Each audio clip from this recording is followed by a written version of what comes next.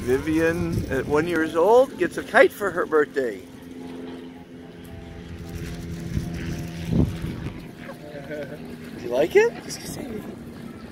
It's a bird, it's a plane, it's super macaw.